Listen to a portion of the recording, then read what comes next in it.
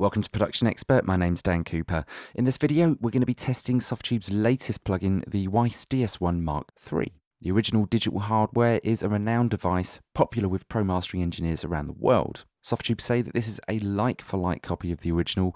The code from the hardware was ported line for line, making this plugin precisely the same as the original. So not an emulation then. It's not the cheapest plugin in the world, but if you were to buy the original DS1 hardware, you would be in for an investment in the 10 grand region. So if you did have your eye on uh, the original hardware, then this plugin clone, if you will, uh, represents fairly good value for money. So what is the DS1? Well, it's a de-esser, compressor and limiter unit that produces very transparent results, but it doesn't do all those three things at once. You can either use this as a de-esser and limiter or compressor and limiter. Compressor settings are on the right here. We can tune our de-esser frequency and bandwidth values in the middle. We have compressor settings between these two dials. So if you wanted to use this as a de-esser, you would most likely use the bandpass type or high pass compressor type here. Or if you just wanted to use this as a broad brush compressor, then just enable full band type here. We can set our limiter settings to the left of this, input, gain and output. There's another way of doing this I'll show you in a minute. And Softube recreated the original metering from the hardware, but have also included a new plugin exclusive waveform meter view here, which is quite nice. And here we can adjust the output of the limiter and the gain as well, which is very useful. At the bottom we've got the internal bypass switch, AB switch for comparing different settings, monitor switch, useful for setting de-esser settings, sidechain link, parallel compression, very useful that. So if you were getting a little bit too uh, heavy-handed with compressor settings over here, just switch into parallel compression and see if that helps to make things sound a little bit more transparent. Safe limiter modes next to that, mid-side processing, it's all pretty self-explanatory. Got options at the top here, and there's quite a few useful things that we can do here, such as dithering. We can also switch between the original DS1 limiter or choose from two other uh, plug-in exclusive uh, limiter styles here from Softube. Next page we can adjust some uh, meter settings and a useful setting on the third page of options is this auto makeup here. Now we've got to set on manual, that's default. We can also set it to auto.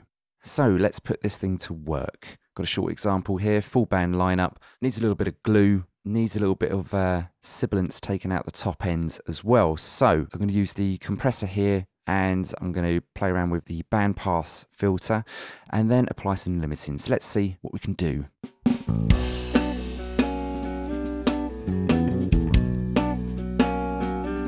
First I'm going to put in some monitoring. You can see over here as well, gives us a little visual representation of what we're doing here with the bandwidth and frequency controls. So I'm going to make it quite a narrow band here and then sweep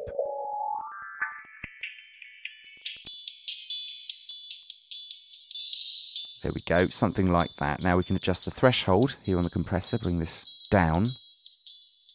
We can see now we're getting some uh, compression going, de-essing. Let's take it out of monitoring. Bring this down till that sibilance comes down a little bit more. Increase the bandwidth.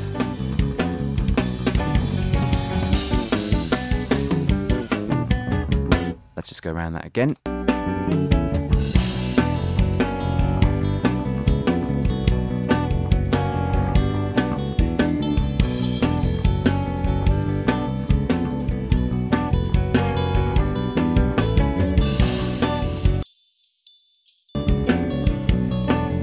Doing what it needs to do. Now let's get some limiting going. I'm going to put this in the waveform view. Increase the gain. Bring the output down just a little bit. Back at the meters, got RMS here, and I want to get that to about minus 13. Limiter, increase the gain.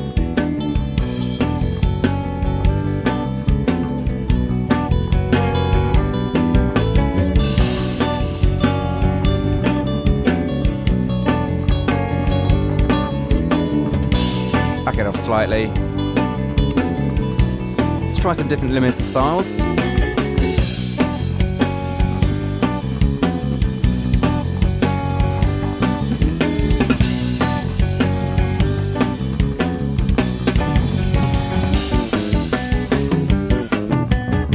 Now, quite like type 1, that sounded like it wasn't doing too much to the bottom ends.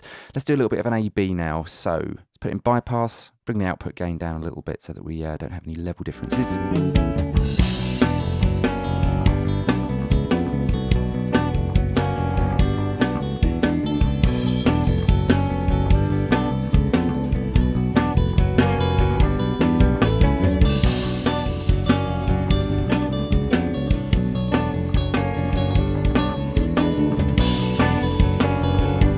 Nice, nice and transparent.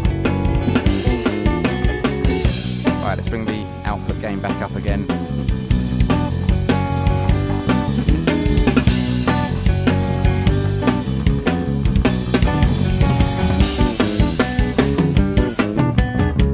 Excellent. Now, if you like the sound of the DS1 Mark III, but it's a bit out of your budget, do check out Softube's other version of this. That's the MM1 mastering processor.